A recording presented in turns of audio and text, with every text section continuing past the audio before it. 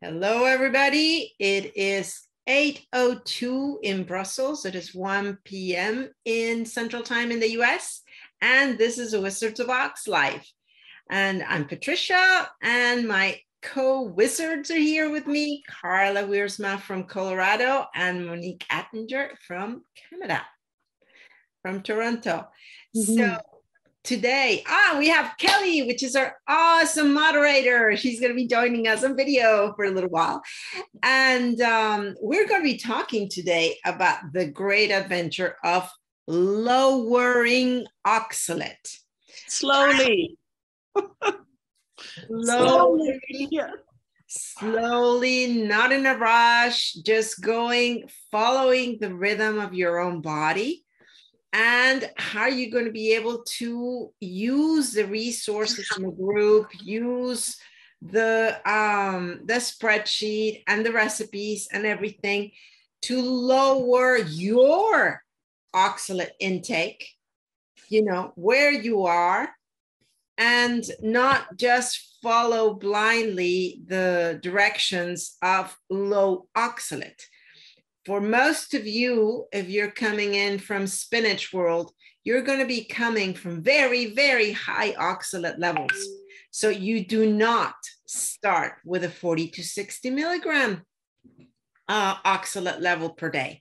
So I'm going to let uh, my beautiful co-host today keep uh, keep going, but that's what we're going to be talking about. If you have any questions, type them up in the chat, and I'll be following them up.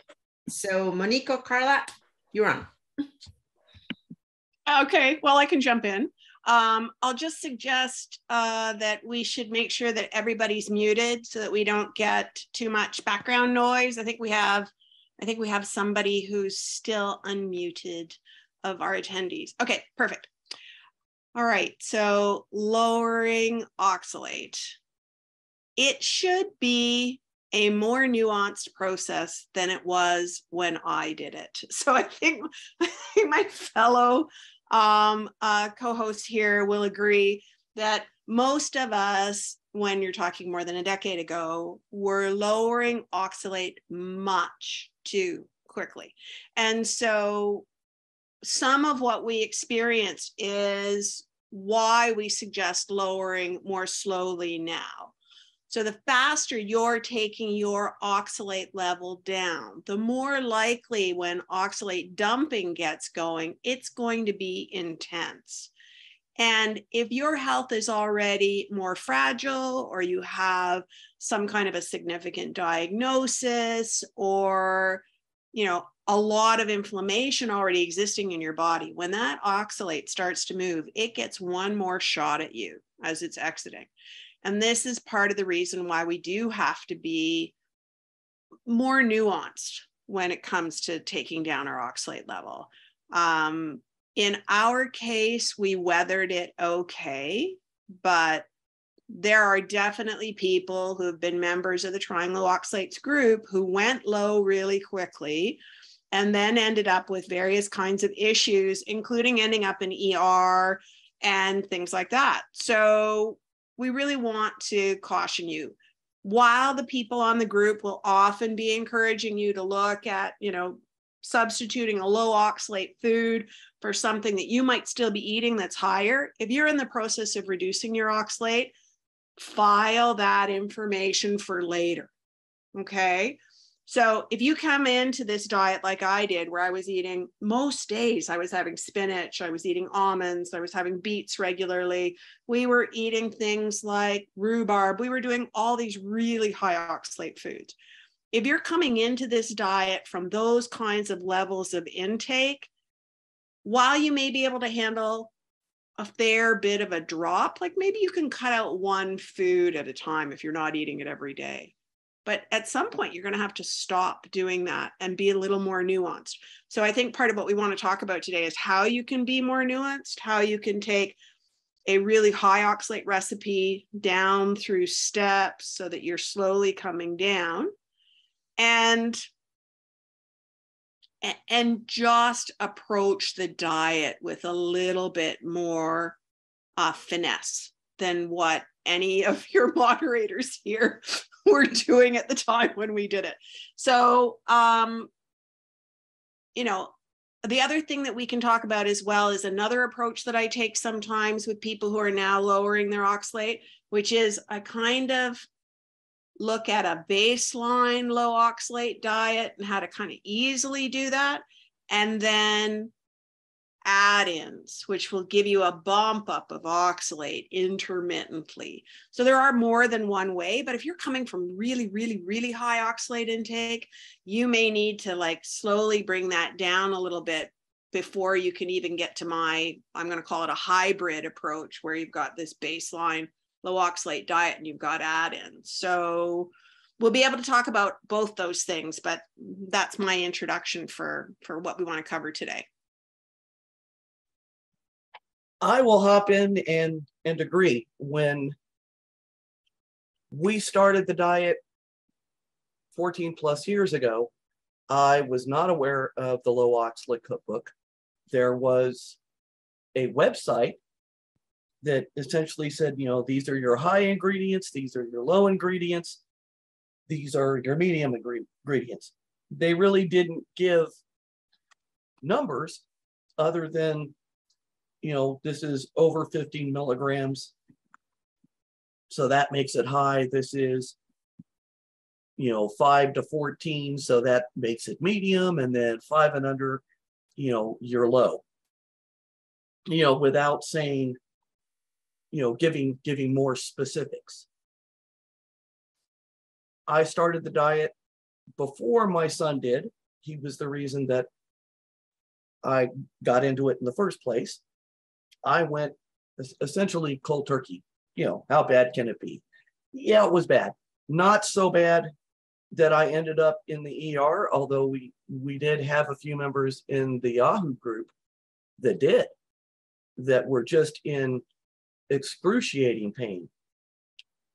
My diet was probably, I'd say 300 to 350. So it wasn't, you know, it was high, but some of these guys were were probably 500 plus. But you know, even going from 300 to let's say roughly 60 was was not pleasant to put it mildly.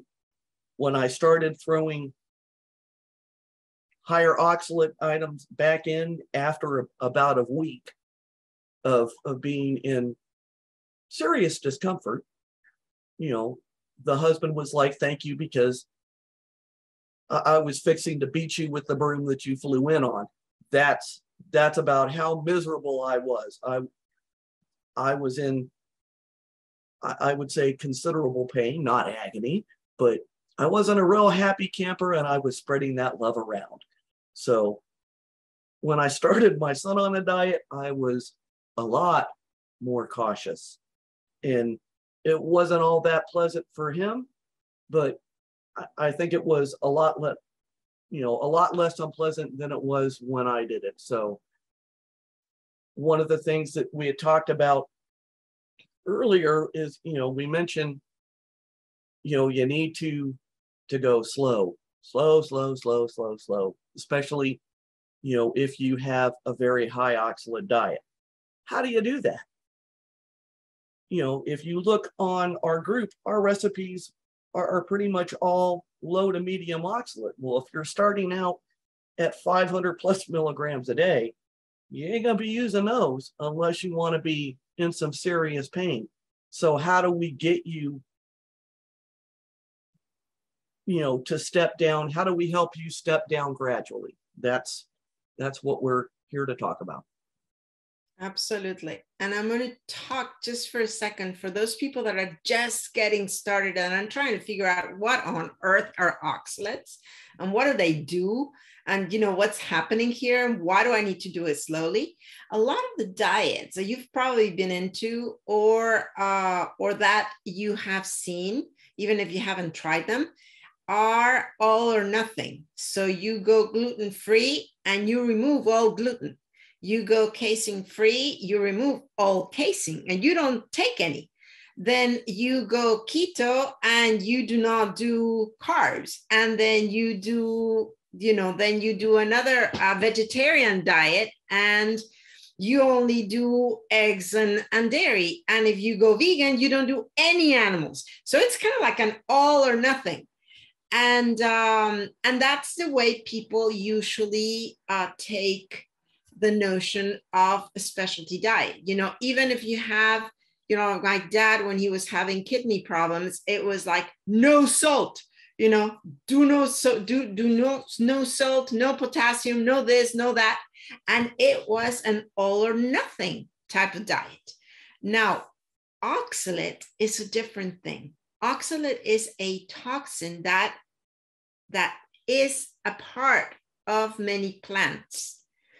And normally in a perfect situation we would have we would be eating just a small amount of different plants because we would be eating a great variety of food so you know like like a whole consumption or daily consumption of oxalate in previous times would be relatively low.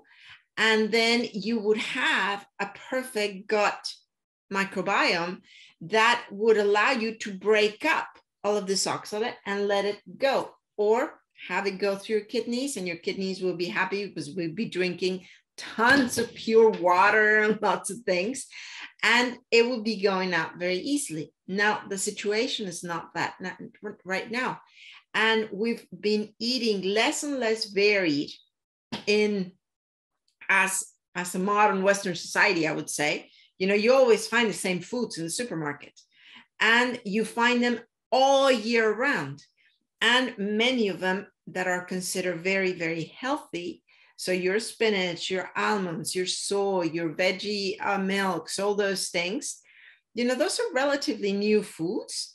And we were never meant to eat spinach in February or strawberries in January so um, that's that's one of the things. So we start absorbing all these things. We've gone through courses of antibiotics or other insults in our gut that changes that flora. And so we're taken out of this mechanism that used to be able to adjust what was happening with the oxalate that we were eating. So this is a different type of reason why we're doing a diet. And it's a toxin so it's going to accumulate. Your body has no need for it, doesn't know what to do with it. It's going to start sticking it wherever it goes. We already talked about that it will get stuck where there's inflammation. And uh, so when it's coming out, it's still a toxin and it's still going to become a stress to your body. And that's why we have to go slow you do not want to surpass your body's capacity. And it's very easy to do if you go from three cups of spinach to none. You know, the drop in the oxalate level will be massive. And then your body would go, okay, there's this difference in concentration. So let me get, you know, let me get rid of some of that so that all of this gets um, gets out of my system and I maintain this, this concentration. And then that's when trouble starts. So I'll shut up. I'll let these beautiful ladies continue. well, I'm just going to jump on and surf with what Patricia started to say here because um, we haven't said the word inflammasome, but I do want to say that in part because more research is coming out recently that talks about how oxalate sets up the inflammasome and kicks it off and gets it going. So if you've got inflammation that already exists, you've got oxalate moving out of your system, it's going to keep that inflammation going because it, it stimulates and triggers the inflammasome being set up. And that's right down at the cellular level, the small little organelle that produces the inflammatory response, which is productive if it resolves properly, but oxalate helps it to keep going in a non productive way. And it's that inflammatory driver, it's the physical damage that can be done if you've got oxalate that's met up with a mineral and becomes an insoluble oxalate crystal of whatever size, and that can be disruptive in joints and so on. So we've talked about some of these things before, but the problem of oxalate moving out of your system is this stuff as it goes is just as inflammatory and just as damaging as when it came in. And so we want it to leave, but in an orderly fashion. So, unlike a stampede, which can cause damage, if you want to go to a really simple, easy analogy, unlike a stampede, we want an orderly exit and lowering slowly is part of what gives you this orderly exit as opposed to um, a bigger push with you know some signaling that we don't know about yet whatever characterizes oxalate dumping we have limited information on that. But we can tell from all three of us being um, admins on the trying low oxalate support group for many years now that clearly if you drop it too quickly you get the stampede and that is not what you want. So we were we were going to talk about stepping down and so let's give a really simple example. So i'm i'm gonna i'm gonna set karla up for talking about some recipes here. So um the spinach salad the infamous spinach salad. Uh, I'll say right now, I am a woman in her 60s. And as a net result, when I was growing up, the only way I'd ever eaten spinach is boiled. Okay.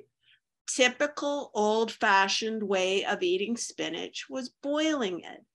We were actually removing some of the soluble oxalate by boiling it. So, traditional cooking methods can sometimes have been taking oxalate down in a food. I hit my 20s. I'm really smart. I'm eating spinach salad. Okay. So if you are somebody who's been consuming a spinach salad or perhaps a spinach smoothie every day, day in, day out, as many of us now do, because we can get spinach 365 days a year. Um, what we want you to do is start to step down. Now, if you're going to try and step down slowly from the amount of oxalate that's in spinach, when there's, I think there's about three milligrams per gram of spinach, that's not going to be necessarily easy. So, what about you take three quarters of your regular serving of spinach and use one quarter of something that's still high oxalate, but nowhere near as high as spinach, like curly kale? You've started the process of coming down. You're coming down slowly, or at least more slowly than if you just drop spinach out. So, what if you slowly convert that serving of spinach to your curly kale? You're still high, but you're nowhere near where you were with the spinach. Then you start to peel out the curly kale serving and you start to sub in radish greens, or you start to sub in arugula. Both of them very low in oxalate. Still green, and then you slowly peel out that next layer. This gives you kind of a stair step approach to come down from whatever level you're at with that particular food that you're taking in every day. So, if you're taking in something like that and you're doing it every day, this is the kind of thing we're talking about. You're at the highest level of oxalate when you're in that extremely high category. Find a comparable green in the very high or the high category. Slowly scrape out your extremely high one for your next stair step. Then scrape out that one with something that's a little lower again. Then scrape out that one down at the lowest, and you will have gradually come down in oxalate without necessarily shocking your system um, like some of us did. And I'm going to say one thing Oh, and somebody said cream spinach. Thank you, Kelly. Uh, we also ate cream spinach, which had the dairy in it, which gave you some additional minerals, which was sort of the antidote while you were taking in the poison. So we did lots of things traditionally, which actually typically reduced oxalate in food. Um, so as you're bringing it down like that, you're not shocking the system.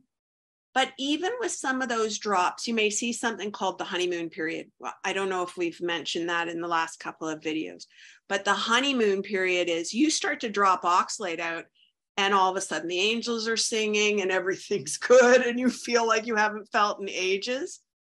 if you get that kind of an effect as you bring oxalate down, and the only lever you pulled was oxalate, you didn't change anything else in your diet, you just pulled that oxalate lever, it's really a good sign that oxalate's probably at least part of what's going on for you. But just know that honeymoon period is not necessarily last forever. I had about, I think I had somewhere between a week and 10 days where I, the angels were singing and I hadn't felt that good in years. And then dumping started, and then the, the next set of things started to happen. So, for those of us who want to go more slowly, you may actually see some little honeymoon periods as you're coming down, right? But you may not get the bigger ones like those of us who who nosedived got. But any time you're just pulling one lever just the oxalate lever and everything else is staying the same, I think you can be pretty assured oxalate's what's going on. Okay, did I steal all your your spinach talk, Karla, or do you have some other no. one that you want to use? I, I actually have two recipes. One with that one that I used last week, which was with the almond flour, and then I decided to to look at an eggs Florentine recipe, and let's just say that was an eye opener. At least this particular recipe was. So let me bring that up and share. Let's see. How do we do this? Okay, let me share, figure out how Patricia my... may have to give you privileges to share. Yeah, she's doing that. Okay.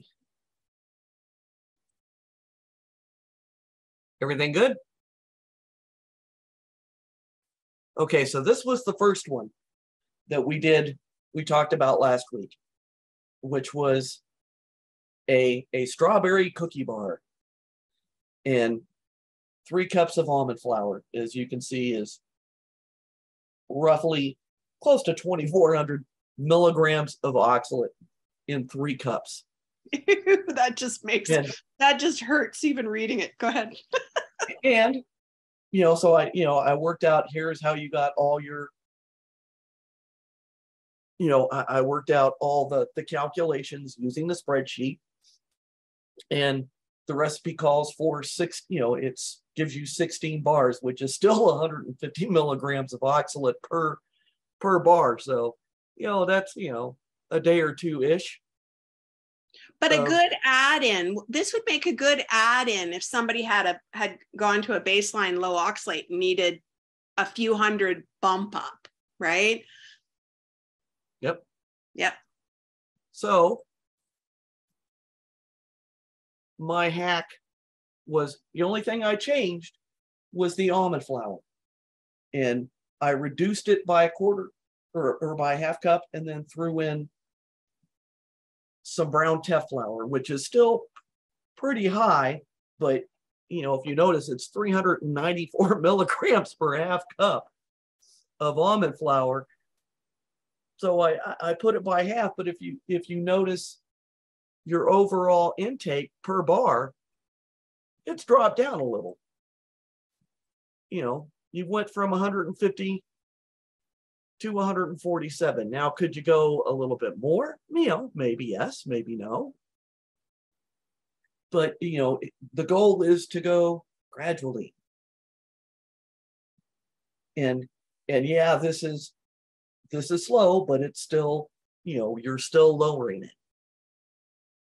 Yeah. So that might be one way to do it, you know, or you could, you could go down to a lower, you know, uh, a flour that's let's say very high, you know, like sorghum, or but if you want to go to a, a half cup, if you're going to lower from close to 400 milligrams per half cup, I would just I would stick with the the extremely high, but one that's considerably, you know, that's lower than your almond flour.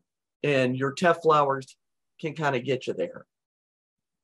So that's one alternative. Now for the spinach. this one, I, I, I cringed when I saw this. Okay, so eggs Florentine. This recipe called for a pound of spinach, which is roughly 15 cups. And, and this is raw spinach, not the baby spinach, just the regular spinach. 75 milligrams per half cup. So in order to get to this one pound, you're basically multiplying 75 milligrams by 30, which gets you 15 cups. You know, you've got another, you know, English muffins, which were about 48 milligram. And this is how I got to the 48 milligram. Nutmeg, you know, there's a couple of couple of hacks you can do. The hollandaise sauce is negligible. I mean, it's basically eggs, butter, and either lemon juice or vinegar. So, you know, a half cup's not gonna not gonna be bad at all, but that spinach. My hack, because looking at the spreadsheet, the highest, let's say usable green, you know, that's there wasn't anything really in the very high category. Curly kale is in the high category, but that's 18, mil, 18 19 milligrams. So that's a heck of a jump going from, you know, 75 milligrams and cutting that down. So it might be smarter to just, you know, reduce that quarter cup and you'll see it gets you nine to 10 milligrams and keep reducing by by a quarter cup until you can get to the point to where you can start subbing in you know things like curly kale and so it may take you a while to get there so you know you could use that you know you could use this recipe and you know for i'd say a good month before you get to the you know, throwing in curly kale. Right. Or or if you're just going to reduce the amount of it, you could be subbing arugula as you as you're reducing because it's adding almost nothing right? So if you're coming down a quarter cup at a time, but you wanted to have the same volume of greens that you're using, you could be subbing in your arugula right off the bat and but just come down really small amounts. Um, I did find that because we were coming from quite high amounts, like I was probably averaging closer to a thousand milligrams of oxalate a day. Um, because we were eating spinach every day we were eating almonds every day we were yeah it was just crazy. Um that we did handle dropping like because my kids did it more well my daughter did it hard like me but my son did it softer because i'd learned a little something before he got on the diet. And um, we did i did i was able to bring him down about a hundred uh, a week so you know, in some cases, some of these recipes may handle a bit more of a drop, but um, you know, I really appreciate that you're going in such a, a small and nuanced way, Karla, because you know it's too easy to to come down too hard and uh and and go too fast if you're really if you're fragile, right? If your your systems, yeah. Especially if you're going that high. I mean, one of the guys that that I I worked with, he was a coworker uh, of my husband. They were a good 15,000, 1500. And we were doing, you know, we started out 200 drop, 250, you know, and that was, that was way too fast. Mm. So, I mean, we pretty much stopped midstream and went, yep, throw some stuff back, throw some stuff back in there. Let's try again and and let's do 50. And right. Yeah, it was still unpleasant, but they were like, yeah, we can live with this. Yeah, as long as it's manageable. Yeah. Yeah, it, it's not a whole lot of fun, but we understood that it wasn't going to be, but you know, it's not like shoot me, please. Yeah. So. Yeah. I did have a client who arrived at um, their first consult with me who had been tracking their oxalate intake and they were a very methodical eater and they ate pretty much the same things every day. And they'd been on paleo for a long time. And this woman knew she was taking in 3300 milligrams of oxalate a day. And she came down 10 milligrams a day by weighing and measuring everything so that took her and then she would stop if she had a big dump and then she'd pick up with her. So it took her just over a year to get to I think about 150. I think she was pulling in at about 150 and then we started to do more things but just just so everybody who's listening gets an idea here. Um, the advantage of her going that slowly was that she never had oxalate dumping that was unmanageable whenever she did start dumping, she would stop at that level or even add in maybe 10 to 30 milligrams of oxalate just to take her up a little bit. Then when the when the dump was over, she'd start to come down again. So for those who have that level of discipline, not a bad way to do it. I just personally would not be able to to weigh and measure and eat the same thing every day for for that much time. That would have made me crazy but really worked for her. Yeah. And i just want to um to comment something that i think if people are watching us and they've been in the group then you start seeing why the um, advice could vary enormously depending on where you are so i think one of the one of the good things that could become kind of like a custom within the group could be hi i'm having this issue but i'm coming from this level. This is my current level. And then we can tell you you know what to do to go from that level a bit lower. And that would also force everybody i think a little bit to start thinking about those levels. Because i think a lot of the people are just afraid of the numbers and you really shouldn't be. Whatever it is where you're eating right now, that's okay. It's just from there to start going down slowly. And then just, uh, you know, and then all of a sudden, a lot of things start making sense.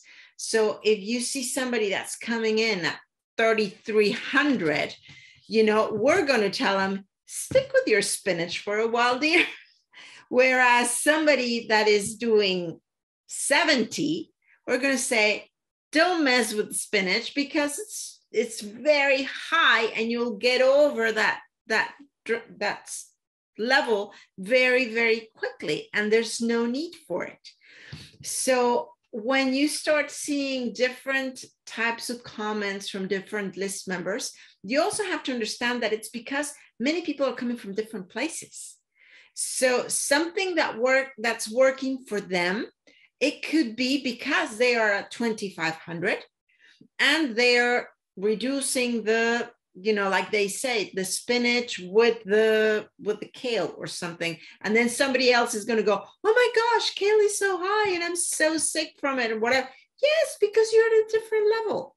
So we just have to remember that not everybody's coming in with the same level. Not everybody's having the same tool kit in front of them. They're not using the same strategies. And, uh, and we're just going to have to be very open and receptive to the variety of things that people are using to get themselves to that lower level. And, uh, and the other just uh, the other idea is that you have to remember that yes, a low oxalate diet is 40 to 60 milligrams a day, but that does not mean that if you are at 3300 and you go down to 3100, that you're not going to start seeing changes. So, you know, I, the magic starts happening as you go down, but it's not like you're going to have to spend a year feeling bad without seeing anything and then you know eventually when you hit the 60 magic mark then you're going to feel better it's not like that you are following you know the the capacity of your body to get rid of this toxin and as it comes down you're going to start feeling better Yeah, absolutely. Absolutely. And of course, greens are not the only place where people can have been too high, and nor is almond flour the only place where people can have been too high. So, whatever foods you've been consuming that are really high, um, one of the things that we did a lot of was tomato sauces because we love them. Um, and that's another place where you can have really uh, a lot more oxalate than you'd think because whatever oxalate you've got in that beautiful red tomato as it's cooking down and see I see our moderator Kelly Cryer kind of I'm um, cringing a little here. As you're cooking it down you're concentrating all that lovely oxalate in there. And so one of the things you can do for those of you who do like sauces is start to cut your tomato sauce with butternut squash puree.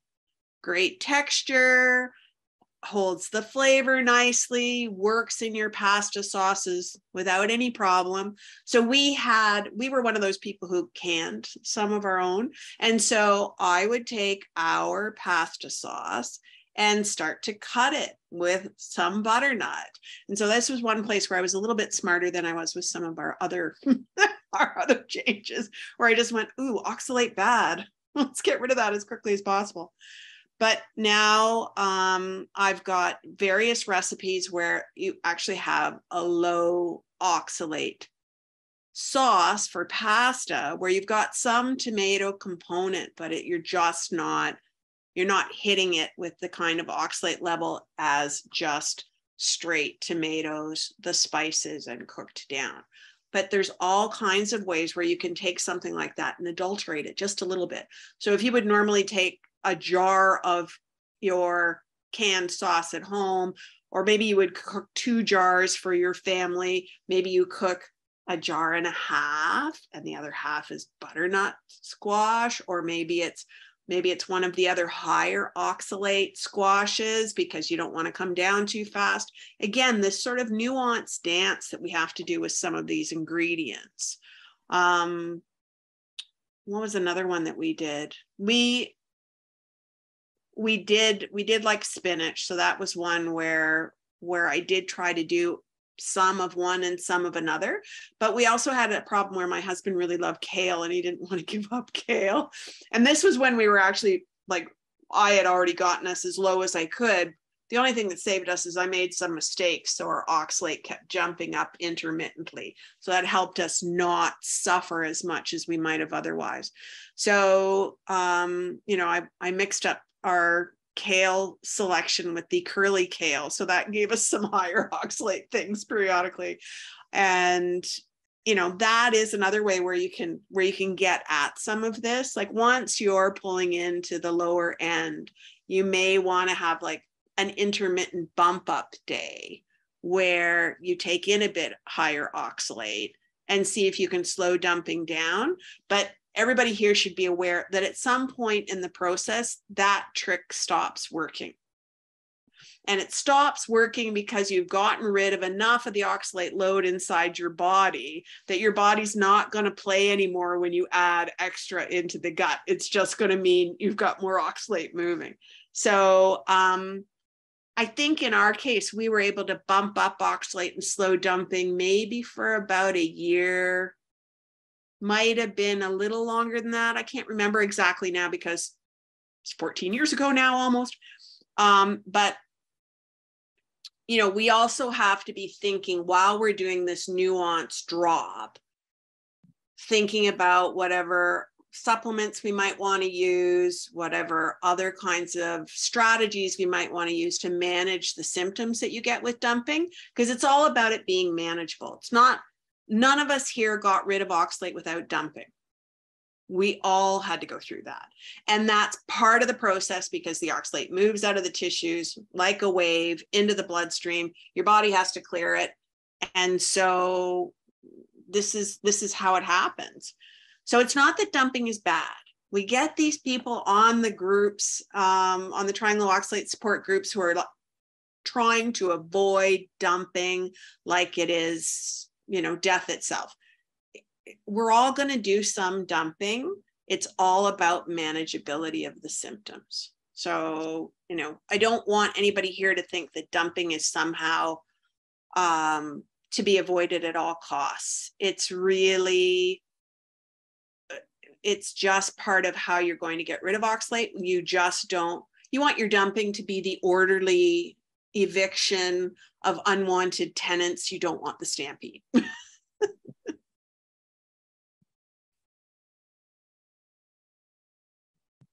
Got stuff to add, Karla? You had mentioned butternut squash, uh, another alternative, pumpkin. We used pumpkin puree. Uh, another alternative is making more of, let's say, a cream sauce with tomato paste. And and what you know, if you're you're not dairy free, then then heavy cream you know, you still get the the tomato flavor, but you know, a tablespoon or two of of tomato paste is fairly manageable. Or, you know, let's say you want to have a little more, then then use a little bit of just plain tomato sauce, throw in some little oxalate spices, you know, watch the watch the serving size or, or and the amount that you're using. And you know, there's said there's a couple of different ways to hack it. And again, with the dumping, you know, I'll, I'll just keep agreeing. It's it's not something you're going to be able to avoid. It, it should be more, yeah, this isn't fun, but I can live with it. You know, it should not be debilitating. You know, that is the last thing that we want. And, you know, I, I remember there was a guy on the Yahoo group that ended up in the ER. He had already, I think he had went kind of cold turkey from a very high, high level. He had thrown chocolate back in. He had thrown spinach and chard back in. He had thrown yams back in, and nothing, nothing was working. And his pain level was just, was just through the roof. And somebody had to take him to, to the ER because, you know, it, he was in agony and his blood pressure readings were were through the roof we really don't want anyone to experience anything close to that. I mean, it should be like, ow, as opposed to, you know, I, I need a straitjacket because I'm in that much pain. You know, it should be more irritating, slightly uncomfortable than anything else. Yeah. Yeah. Manageability is the is the name of the game. Ma- yes. Manageability. It's we're not going to be able to totally control this, but we can definitely use techniques so that we're not throwing ourselves under the bus in this process. Absolutely. Um, another thing that you can do for another one of those classics, which is potatoes. Uh, in my home, it's uh, mashed potatoes are like a staple. And of course, it, you get a whole lot of potatoes in just a little serving because you know you're you're just mashing the whole thing. And uh, one of the things that worked for us was cauliflower. So we would start just adding a little bit of cauliflower to the potatoes and then eventually became a lot more cauliflower than potato. And uh, it comes to the point where right now for a whole pot of you know cauliflower which is probably cauliflower and a half i would use a small red potato in there and it will give you the the consistency of the mashed potatoes, but you will be eating something else. And now my husband absolutely adores it because it's easier to digest as well.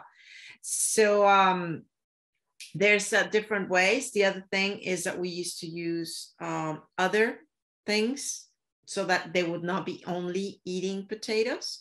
So we would start, yes, with carrots and put, you know, little pieces of carrot and bacon and just have like it's a Belgian stoemp that's what it's called, where you put different things. Or we would put different types of vegetables in there. And of course, the vegetables will be going from high to lower to lower to lowest. So um, it's just a process and it's something that it's doable if you think a little bit outside of the box. And just um, to, uh, we have nine minutes left.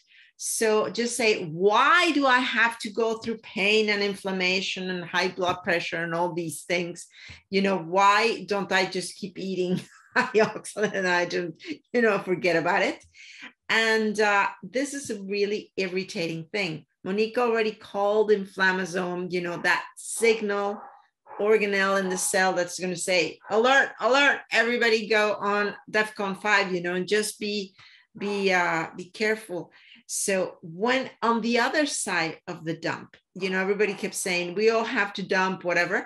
I love when I'm dumping, but it's not the moment when I'm dumping. Is I'm curious to what's going to happen right after, because what's going to happen right after is exactly why you're doing it. So you're going to start feeling better. You're going to start concentrating better. You're going to move better. You're going to have more flexibility. You're going to sleep better. You're going to, you know, there's going to be a ton of things. So, um, you're just going to have to remember that yes, we have to go through dumps. We're trying to make the dumps by these explanations as manageable as possible so that, yeah, you see sandy stools. Yes, you feel the little grains, you know, everywhere. Then, uh, you know, the little pimples or whatever. But then on the other side, yeah, the little um, sand on your on your eyes, the coughing with the muc, you know, with the whitish um, the mucus, yeah. mucus, and uh, and it's just you know, but at the other side, you always see improvements and uh, and that's what's really the driver for this whole thing because everybody wants to feel better. Everybody wants to be in great health feel healthy not feel you know not have that slump after eating or that inflammation after eating or that pain or that whatever. So um, I, I just thought it was important because everybody keeps saying oh dumping is terrible. No that what's right after dumping is worth every dump. Yes it's it's okay. the waltz. This is the waltz with oxalate right? Two steps forward next dump one step back but then two steps forward. So yeah we haven't talked enough about that. Every time i've gone through an oxalate dump at the other end it was better. Energy level better like like uh, patricia was saying focus better. I was so frustrated with brain fog and not even being able to remember common words. Like I still remember sitting across the table from my then um, three and a half year old daughter and going, Give me that thing in front of you. She looks at me, cocks her head, and goes, Mama, the book? Like, I'm like, you can't say book. it would just could not get that word out.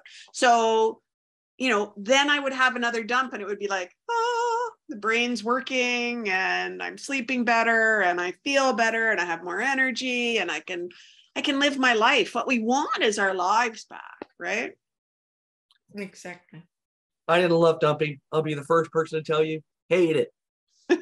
hated going through it, hated seeing, especially seeing the kid go through it. But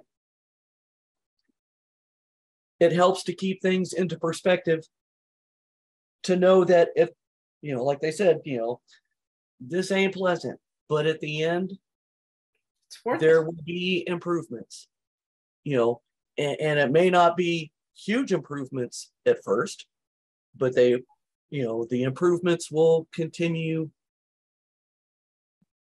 to grow. When we first started the diet, you know, the first six months, we were probably dumping more than we weren't. You know, we would dump for a couple of weeks. We'd have a couple of days, you know, maybe a week that that were good, and then the process would start all over again. But the longer we stayed on the diet, you know, pretty soon it was two weeks of, of good times. Then it was three weeks. Then it was four weeks. You know, then it was two or three months. You know, then it was, you know, six months. I think the last time I the last time I had a dump was three, four years ago. Yeah, for me it's definitely and, years. And and it was because I had willingly hopped off the bandwagon, you know, the, the low oxalate wagon and, and went, you know what, that loaded baked potato, ooh, that looks good. And and I threw on the butter, the sour cream, and the cheese. And about six hours later, oh God, just shoot me now. And you know, my kid did the same thing. Someone gave him one of those grandma peanut butter cookies. So, you know, that are about like that big. And he was like, eh,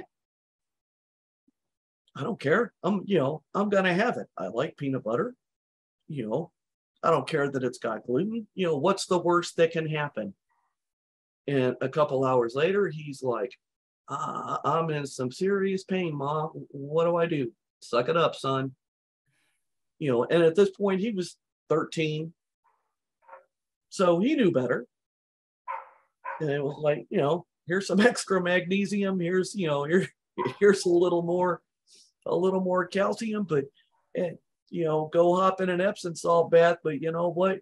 You're going to be a hurting puppy for a couple of days. You know, what have you learned? well, maybe not to have that entire cookie. Maybe I just break that cookie up into six pieces. No, but you know, you got the right idea. Yeah, exactly. Kelly, you want to say something? Yeah, can y'all hear me? Yeah. Yes. Oh, cool. Okay, two quick things. So I'm actually in a little honeymoon period right now. Mine currently only lasts about eight hours. but about this time last week, I had started one that was bad from my head. And then uh, overnight last night, I think my body figured it out. So, like right now, I feel great. Um, that'll end here. Who knows? In an hour, two, three, four hours, usually how it goes.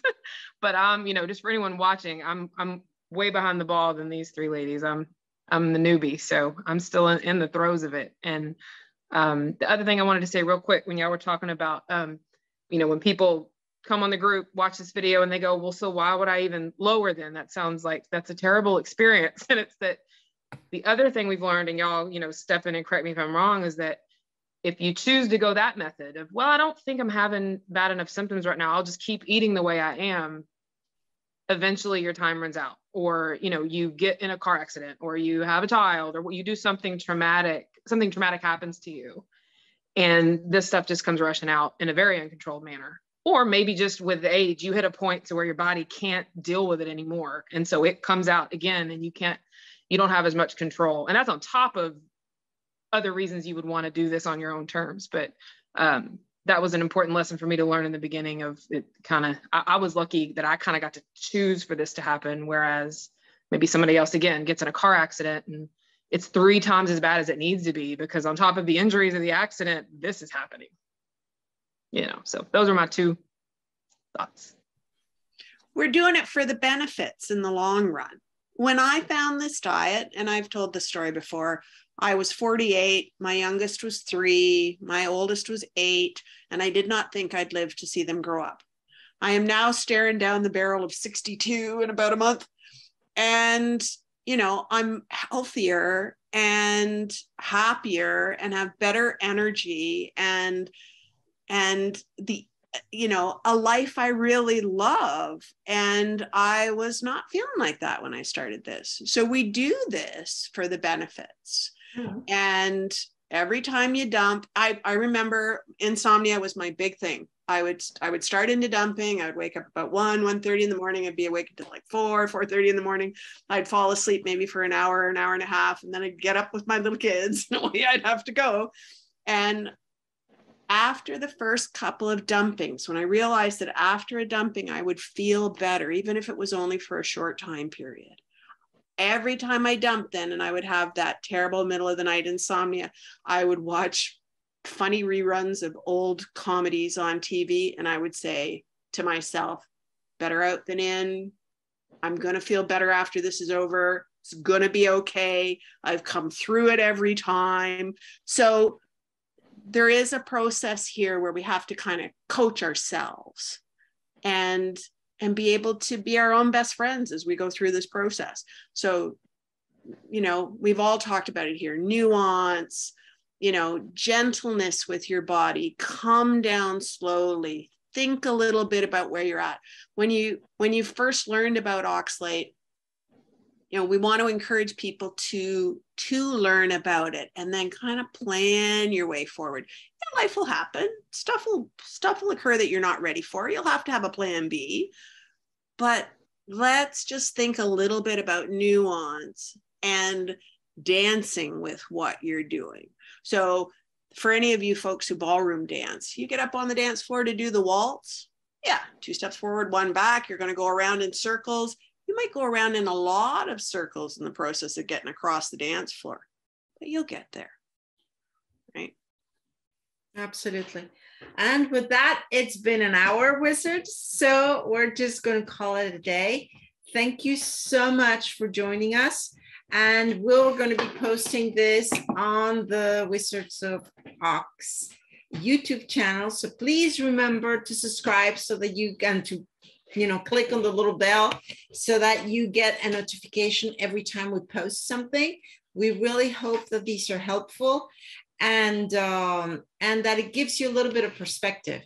For me, just to close, I mean, it was so good after the dumps, and with my kid, it was so spectacular you know the the kinds of things that i that i never dreamed i would see that you know if i had to do it all over again i would it just it's just been that good a ride it's been incredible you know when you have somebody that ha- that they tell you or is never going to talk and all of a sudden tells you water you're you're and you know you're just so happy but then when they turn around and go oh boy, it's hot. I'm thirsty.